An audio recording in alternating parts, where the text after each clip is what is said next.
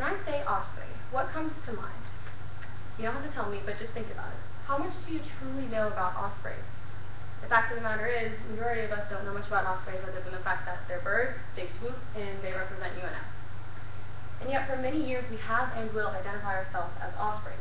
It is only right for us to know something about this animal that we call ourselves, and that is why I chose this topic for my research. Because personally, I knew more about geese on campus than I did about ospreys, just from my past experiences, but that's a different story. So first, you'll need to know the history behind the osprey becoming our school's mascot. Second, you must learn how they live and behave in the wild, and finally you will understand how the osprey accurately represents us as individual students as well as a united school. So how did the osprey become UNF's mascot? Well, the answer to that can be found on the UNF website in an article written by Gary Warner. It all started in the year 1978. The school officially opened in the year 1972, but for the first six years, no one really saw a need for a mascot. There were no athletic programs or no real true school spirit. But in 1978, a woman named Doreen Bailey was writing an article about the rising number of UNF alumni in Jacksonville after only six years, and she wanted some artwork to represent our school. On her own accord, she chose to represent us as the armadillos. You can imagine the students' reaction to this when they saw it. They were a little angry. No one had asked them. They had no say in this. So immediately the student government got involved.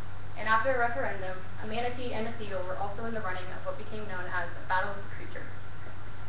It was then decided that there would be a school-wide vote for the new mascot.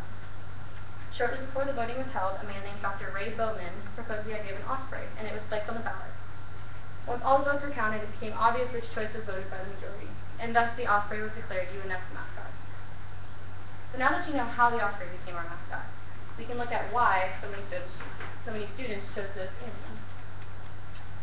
According to the National Geographic, ospreys are the most widespread birds of prey. They are found on every continent except for Antarctica. Most ospreys are migratory birds, which means that they breed in the north and they fly south for winter.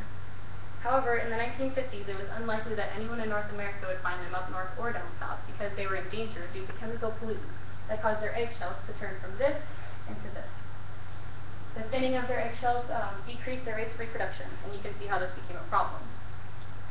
After a ban was placed on DDT, the North American osprey bounced back and was no longer endangered.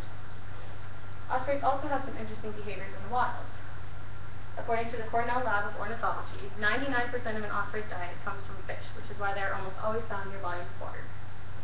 They have the ability to dive up to 30 feet below the water surface, and in some instances they can soar up to 600 feet above their nests.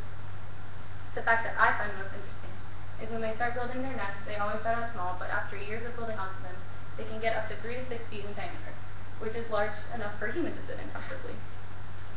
So now that we know the story behind our behind the mascot becoming our or the osprey becoming our mascot, and that they are great animals, we can talk about how they represent us as students. Ospreys are birds of prey, meaning that they are fierce hunters that attack their prey, just like we attack the challenges that we're faced with here at UNF inside and outside of the classroom. A website called Cynology.org has an article written by Melissa Russell that describes how birds of all kinds symbolize freedom, just in their ability to swim, walk, and fly as they please, just as we are free to pursue any, pursue any future that we want to. Ospreys are widespread birds that are found on almost every continent, just as UNF accepts students from all over the world and also sends students to several different countries on study abroad programs. We also live similar lifestyles. Ospreys live near the water, just as we are at school near the beach, and many of us enjoy spending time in the water or doing water-related activities. Just as ospreys go out and explore new places that are 30 feet below the water surface or 600 feet above the trees, we explore new ideas and concepts at this college to broaden our knowledge base and become more well-rounded individuals. Over time, ospreys learn and build bigger nests, just as we grow into more stable, strong, and secure individuals. It may come as a surprise to you how much we actually have in common with ospreys, but that is why I chose this topic to inform you on today. Today I first discussed how the osprey became UNF's mascot, Second, I discussed why ospreys are such amazing animals, and finally I discussed how we, as a student population of UNF, are accurately represented by the osprey. Now you can see why it is so important to know about your mascot and aspects of your school's history, the animal itself, and the image of this animal representing you. Hopefully next time you display your school pride by swooping after a free-throw at a basketball game or wearing blue and gray clothing that is stamped with the osprey logo, you will remember the true meaning that's behind this symbol to which we identify. Thank you.